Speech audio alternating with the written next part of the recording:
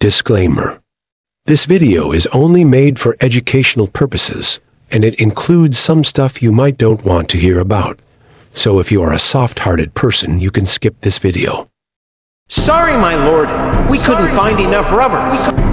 How can you not? Find it or not. I will punish you. My lord, we can't find it anymore. Please forgive us. Okay then. Guards, cut their hands off.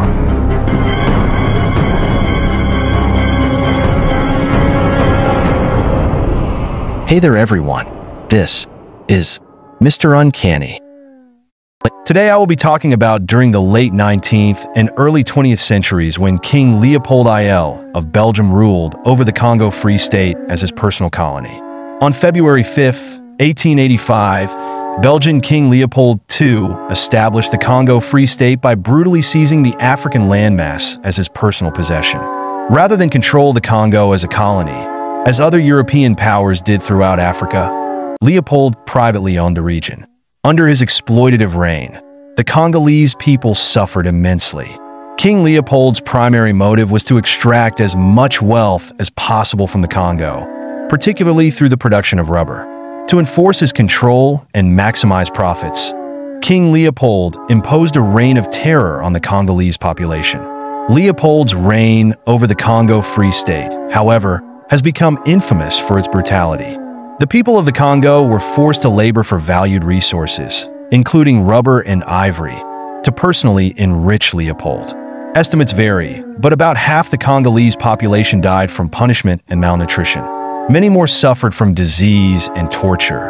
Among those who weren't killed, many were punished by having a hand and or foot amputated. Thousands of Congolese were subjected to executions, including public hangings, or had their hands amputated as a means of punishment. These cruel acts were carried out as a deterrent and as a means of maintaining control over the local population. The atrocities committed during this period have been well documented and are considered one of the darkest chapters in colonial history. The people of the Congo did not suffer these injustices without fighting back. Several rebellions were mercilessly put down under Leopold's direction. As the realities and suffering within the Congo Free State became more widely known, many European people spoke out against these abuses. Demonstrations and protests demanded that Leopold end human rights abuses in the Congo Free State. In 1908, international pressure forced the king to turn the Congo Free State over to the country of Belgium. The newly named Belgian Congo remained a colony until the Democratic Republic of Congo gained its independence in 1960. Thanks for watching the video. Make sure to subscribe to the channel for more such content. You can also suggest me content on my Instagram account. Must follow me on Instagram too for more additional content.